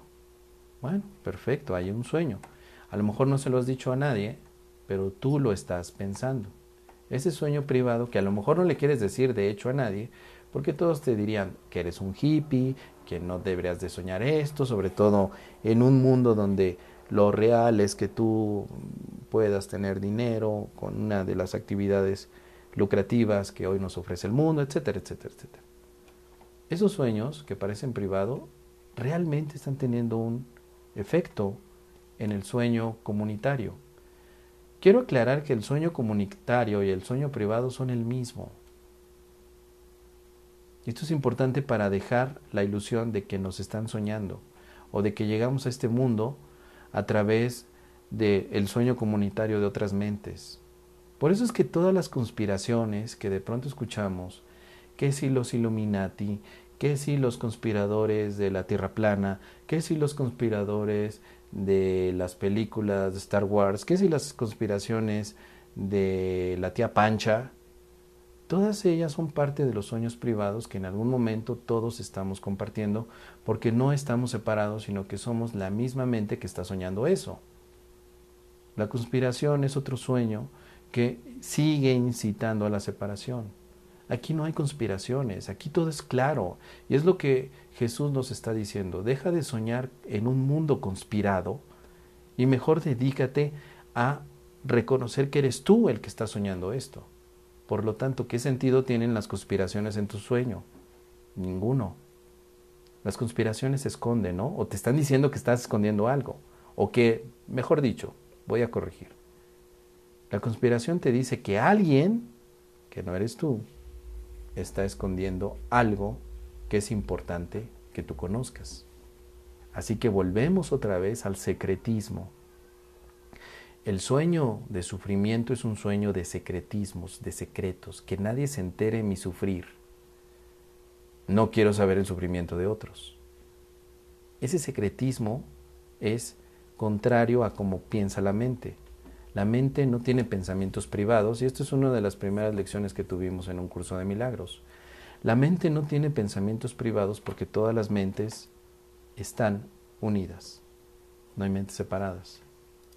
Como no hay mentes separadas, entonces todo pensamiento se comparte. Si esto lo llevamos al contexto del sueño, todo lo que tú deseas soñar lo verás en algún momento no solamente tú, sino todas las mentes que son la misma mente. Por eso hablamos de un solo sueño. No hablamos de mil sueños, o de siete mil millones de sueños, o de siete billones de sueños, considerando a los sueños de los animalitos. Estamos hablando de uno solo, que es el sueño de terror. Y estamos hablando de la alternativa a ese sueño que la mente ha tenido, y la alternativa es el sueño de la expiación. El plan de la expiación es entonces una representación del sueño de los milagros, donde todos somos uno, donde trascendemos la importancia que le hemos dado a la visión física y nos vamos determinantemente hacia la visión espiritual. Pero si tú no sabes que estás dormido, ¿dónde crees entonces que va a estar el cambio? Hemos oído por muchos años, despierta, despierta, despierta, estás teniendo un sueño.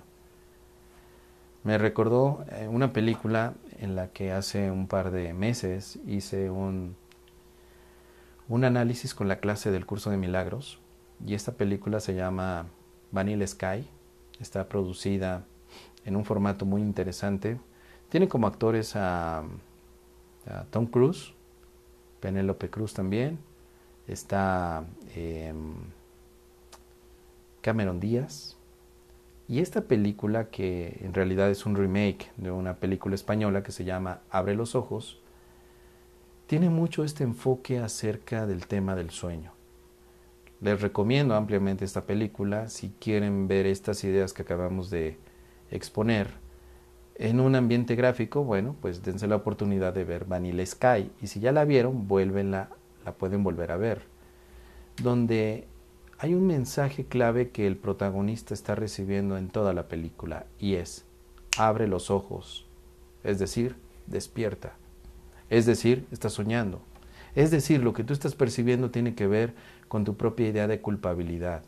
Es decir, estás soñando un sueño de culpabilidad, abre los ojos para que te des cuenta que la culpa no existe. Abre los ojos, abre los, abre los ojos, abre los ojos espirituales, en dado caso que lo pusiéramos en el contexto que estamos estudiando. Abre tus ojos espirituales. No trates de ver este sueño simplemente con tus ojos físicos, porque los ojos físicos lo único que hacen es responder a algo que ya pusiste ahí. ¿Sí?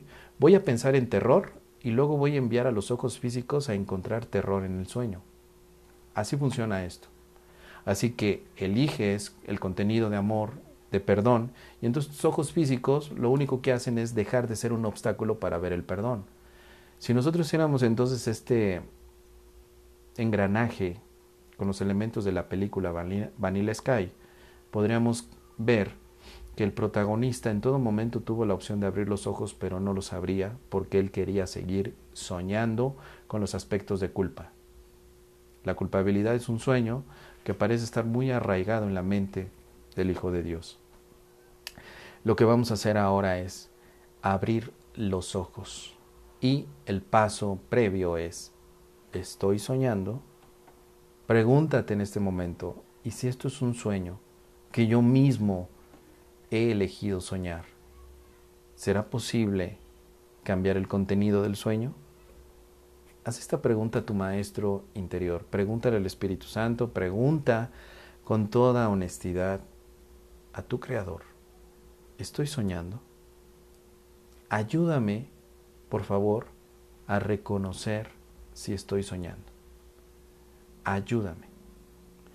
Y créeme que la respuesta va a llegar. Decir esto es un sueño y aceptarlo intelectualmente no significa que te das cuenta que estás soñando. La invitación es darte cuenta que esto es un sueño darte cuenta que estás soñando, darte cuenta que lo que estás viendo en esta pantalla es un elemento del sueño que tú has elegido colocar porque hay un mensaje que te quieres recordar. Vamos al párrafo número 12. Dice, sueñas que tu hermano está separado de ti, que es un viejo enemigo, un asesino que te acecha en la noche y planea tu muerte, deseando además que sea lenta y atroz. Mas bajo este sueño yace otro en el que tú te vuelves el asesino, el enemigo secreto, el sepultador y destructor de tu hermano, así como del mundo. He aquí la causa del sufrimiento, la brecha entre tus míseros sueños y tu realidad, la pequeña grieta que ni siquiera ves, la cuna de las ilusiones y del miedo, el momento de terror, y de un odio ancestral. El instante del desastre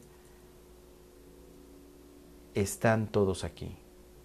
He aquí la causa de la irrealidad. Mas es aquí donde se deshará. En el 13. Tú eres el soñador del mundo de los sueños. Este no tiene ninguna otra causa ni la tendrá jamás todo lo que aterrorizó al Hijo de Dios y le hizo pensar que había perdido su inocencia, repudiado a su Padre y entrado en guerra consigo mismo, no es más que un sueño fútil. Mas ese sueño es tan temible y tan real en apariencia, que él no podría despertar a la realidad sin verse inundado por el frío sudor del terror y sin dar gritos de pánico, a menos que un sueño más dulce, precediese su despertar y permitiese que su mente se calmara para poder acoger, no temer, la voz que con amor lo llama a despertar, un sueño más dulce, en el que su sufrimiento cesa y en el que su hermano es su amigo. Dios dispuso que su despertar fuese dulce y jubiloso, y le proporcionó los medios para que pudiese despertar sin miedo. 14. Acepta el sueño que Él te dio en lugar del tuyo. No es difícil cambiar un sueño una vez que se ha identificado al soñador. Descansa en el Espíritu Santo y permite que sus dulces sueños reemplacen a los que soñaste aterrorizado, temiéndole a la muerte.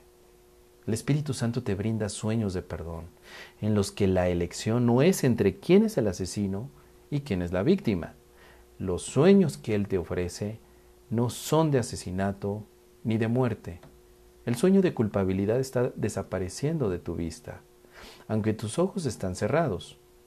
Una sonrisa ha venido a iluminar tu rostro durmiente. Duermes apaciblemente ahora, pues estos son sueños felices. 15. Sueña dulcemente con tu hermano inocente, quien se une a ti en santa inocencia. Y el mismo Señor de los cielos despertará a su Hijo bien amado de este sueño. Sueña con la bondad de tu hermano en vez de concentrarte en sus errores. Elige soñar con todas las atenciones que ha tenido contigo en vez de contar todo el dolor que te ha ocasionado. Perdónale sus ilusiones y dale gracias por toda la ayuda que te ha prestado. Y no desprecies los muchos regalos que te ha hecho solo porque en tus sueños Él no sea perfecto. Él representa a su Padre, a quien ves ofreciéndote tanto vida como muerte. 16. Hermano, lo único que Él da es vida.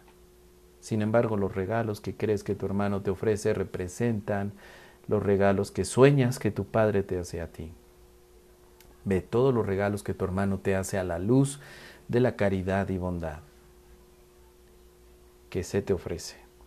Y no dejes que ningún dolor perturbe tu sueño de profunda gratitud por los regalos que te hace. Bueno, pues maravilloso toda esta última parte, toda esta última sección en la que la alternativa está muy clara. Primer punto, reconocer que tú eres el soñador del mundo de los sueños. Y segundo, elegir la alternativa al sueño que soñaste.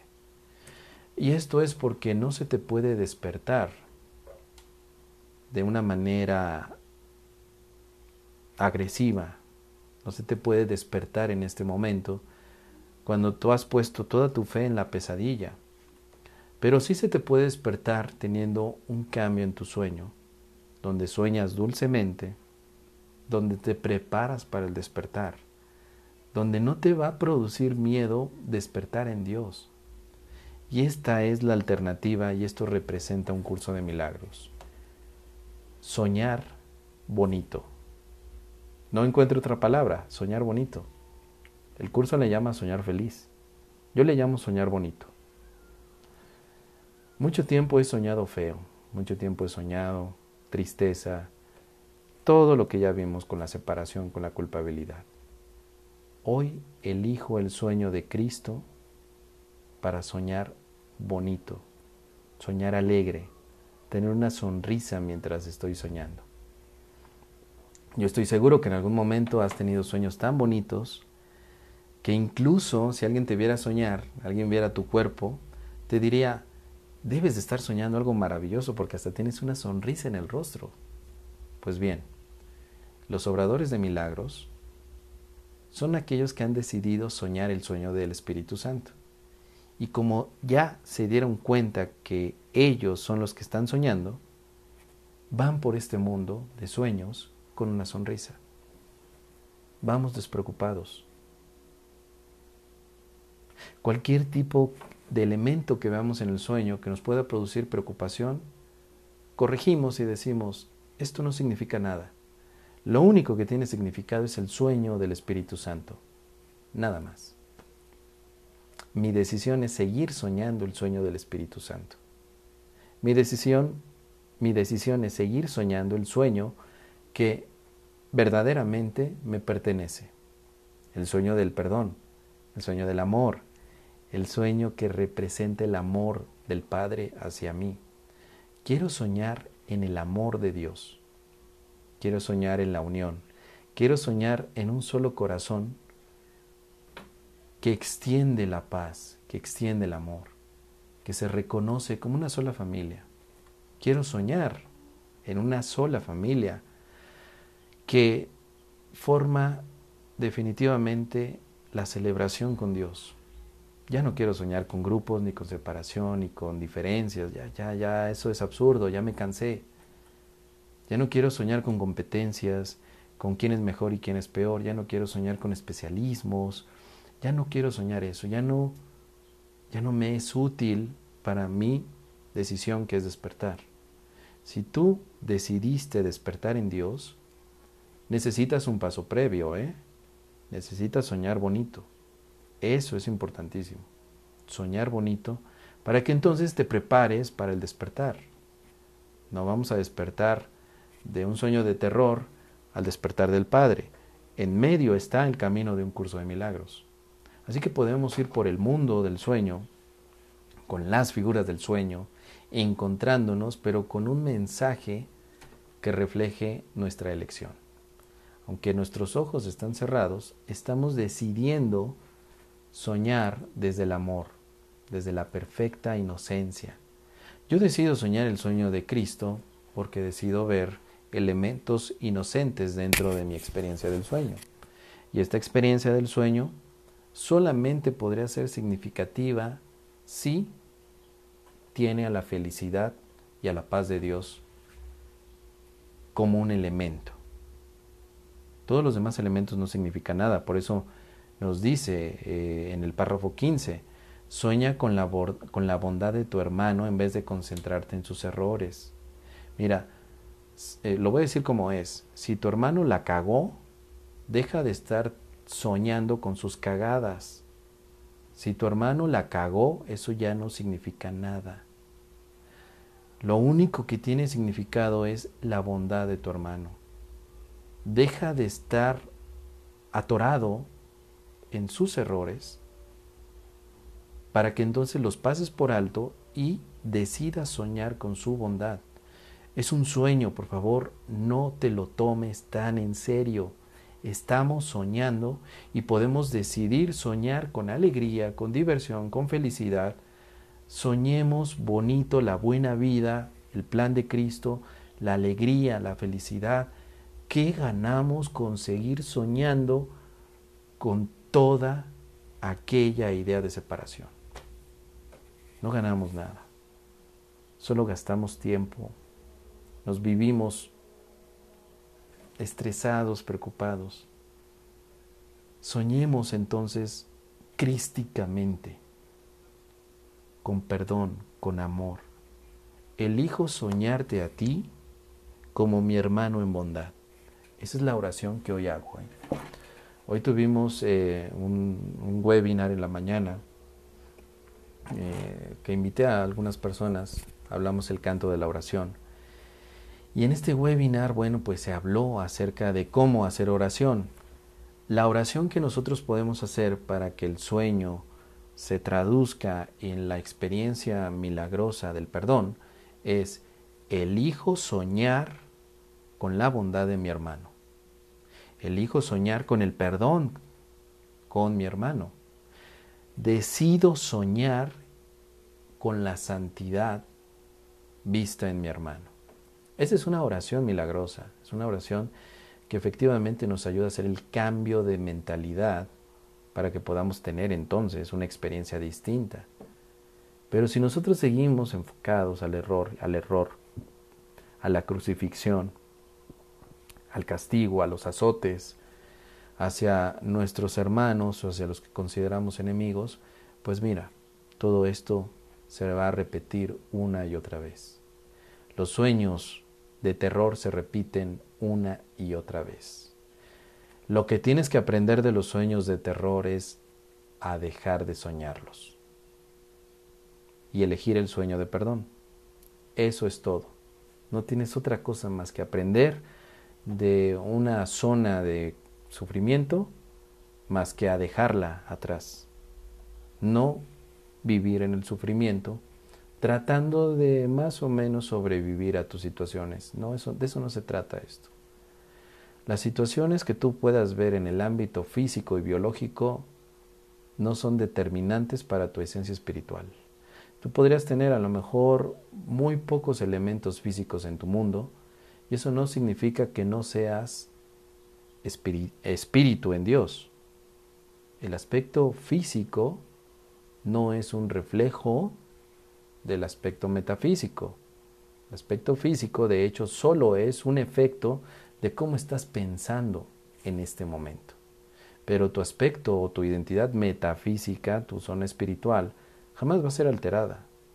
Ya sea que tengas dinero o no lo tengas, tú sigues siendo tal como Dios te creó. Ya sea que tengas sobrepeso o estés hecho un palo, sigue siendo tal como Dios te creó. Ya sea que te amen los demás o no te amen, tú sigues siendo tal como Dios te creó. Ya sea que seas vegano, carnívoro, vegetariano, ovíparo, vivíparo o cualquier cosa que tú quieras vivirte en el sueño, tú sigues siendo tal como Dios te creó. En eso no podemos modificarlo porque es la realidad. La realidad es que somos tal como Dios nos creó.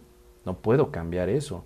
Ahora, el cambio del sueño, pues obviamente que sí, por los elementos que yo estoy percibiendo que provienen de una elección donde la causa está en la mente. Si yo pienso de manera diferente, sueño de manera diferente. Y con eso vamos a terminar entonces, querida, querida gente, queridos hermanos, con esta clase que estoy aprovechando ahora que tengo un, un poquito de espacio para compartirles a todos ustedes. He visto a muchos que se conectaron, varios que están por aquí. Eh, me ha sido difícil saludar a todos y cada uno de ustedes, pero les agradezco los puntos que han estado compartiendo en el chat. Gracias por estar aquí y si les interesa, pues vamos a poder seguir compartiendo muchas de estas clases en lo sucesivo. Mientras tanto, bueno, pues estoy aquí ajustando algunos aspectos técnicos para poder ocupar eh, una plataforma como Facebook donde pueda yo transmitir no solamente una imagen, sino que tenga los elementos que me permitan dar estas clases. Así que veremos más adelante cómo sucede las cosas para poderlo compartir. Si alguien quiere hacer algún comentario, alguna pregunta, pues ahora en este momento me puedo enfocar a leerles. Hace rato no, porque pues empiezo, ya saben, a hablar sobre los temas milagrosos y de pronto no le pongo atención al chat pero antes de irnos, antes de desconectarnos y terminar con esta charla, voy a leer sus comentarios. Así que muchísimas gracias a Marisela Vargas, dice mil gracias. Miguel Cruzado, Ignacio, gracias. Eh, Alma Rosa Jiménez, muchas gracias. Ramona González, gracias. Dice el hijo vivir en paz, dicha felicidad. Pues dichos regalos están depositados en mí, moran en mí, por supuesto. Mi querido Joan Vallejo dice agradecido y claro, me encantaría tomar más clases. Maya Shanti dice gracias, moza, soñar bonito. Lauri, gracias infinitas. Y Alma, ¿qué capítulo fue el que nos compartiste? El número 27, el final del capítulo 27. Déjenme colocarlo ahora en la pantalla. El capítulo 27, creo que se va a ver por ahí. Ahí está, miren. Vean del lado izquierdo, aparecerá capítulo 27, la curación del sueño, y nos fuimos al subcapítulo número 7, el soñador del sueño. Creo que lo están viendo en la pantalla. Ahí está. Ahí está la referencia para todos ustedes. Dice, llegué en el 4, pero no supe en qué sección. Ojalá que se pueda ver bien en la pantalla. Dejamos aquí la transmisión, amados hermanos, queridos compañeros de este viaje, de estas aventuras. Y pues aquí queda en el Facebook un buen rato. Si les parece interesante compartirlo a alguien más, pues adelante, lo pueden compartir. Si tú estás viendo este video en diferido y quieres dejar alguna pregunta, pues por supuesto, hazlo aquí y con gusto la voy a leer. Eh, yo tengo clases ahora virtuales todos los jueves en punto de las 7 de la noche en una sala privada. No hago transmisión por Facebook en esas clases. Voy a abrir un nuevo curso en junio para los que estén interesados en el estudio del texto, eh, estaremos en punto de las 7 de la noche todos los miércoles por si están interesados. Humberto Jesús Goitia dice, hola Mos, yo no he podido ir a las clases presenciales por situaciones. Hoy una pregunta, ¿cómo es la forma de hacer una petición a Dios según el, el curso de milagros? Es decir, un deseo, un anhelo y cómo haces que aparezca tu logo en tus videos. Humberto, bueno, la segunda pregunta es fácil de contestar. Estoy ocupando un software que se llama OBS. OBS Studio. Después de mucha búsqueda, pero muchísima búsqueda, logré dar con él. Porque, bueno, pues yo de, pronto me había puesto ahí de, de espectador en algunas transmisiones de Twitch, de videojuegos y pues yo decía, ¿cómo le harán para poder colocar logotipos y todo? Y bueno, preguntando, me dijeron que era OBS el software. Eh, de hecho es libre, tú lo puedes instalar en cualquier plataforma y te puede ayudar. Mira, ahí eh, coloqué los logos, tanto el libro del curso de milagros, mi logotipo de Primero Tu Paz. Y, y, se pueden colocar más cosas, apenas estoy aprendiendo y gran parte de esta clase fue para probar los elementos y veo que están funcionando bien. Así que OBS estudio te puede ayudar. Ahora, ¿cuál es la forma correcta de hacer una petición a Dios? Siempre es desde la gratitud. La verdadera oración no pide nada. La verdadera oración o milagrosa es agradecer lo que ya se te ha dado. Una forma en la que yo practico la oración es, Dios, gracias por ayudarme a reconocer lo que ya me diste. Eso es todo. No pido mejorar mi salud, no pido eh, mejorar mi, mi, situación política, financiera, social, emocional. Lo que pido realmente es un reconocimiento de lo que ya se me dio. Entonces es algo bastante, bastante abstracto, pero ese es el enfoque del milagro, aceptar lo que es abstracto. No pido cosas concretas, solicito recordar el amor abstracto en el que he sido creado. Dice Fabiola Balcázar, mil gracias. Rosario, Mos, por favor, ¿a qué página es? Decido soñar. A ver, vamos a ver. Es que tengo el electrónico, aquí tengo el físico. Ahora vamos al físico y les voy a decir qué página es para que no quede duda. Se llama El Soñador del Sueño, es capítulo 27. Capítulo 27, ¿no?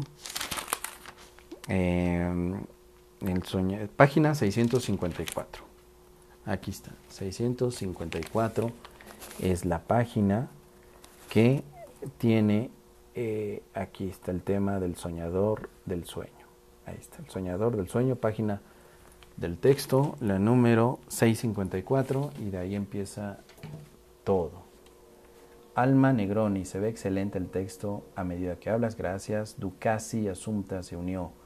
Humberto, gracias. Virginia Pérez, mil gracias. Alma Rosa Jiménez, bendiciones. Bueno, pues sí, creo que ya es todo. Patricia Mata, gracias.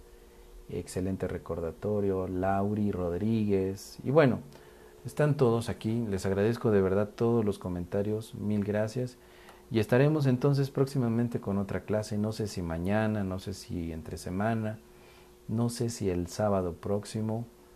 No lo sé. El Espíritu Santo lo indicará. Pero por supuesto será a través de Facebook o también en mi canal de YouTube. Puedes encontrarme como un curso de milagros con Moss en YouTube y ahí también voy a empezar a hacer estos directos para que queden también grabados y que se puedan ocupar más adelante como revisiones. Bendiciones chicos, muchísimas gracias. Primero tu paz y después lo demás. Recuerda siempre soñar con el sueño de la verdad, con el sueño de la paz, a soñar bonito, que ese es precisamente nuestro trabajo aquí dentro de esta experiencia. Gracias, bendiciones, un abrazo y que estén todos con la paz que ya hemos recibido. Gracias chicos.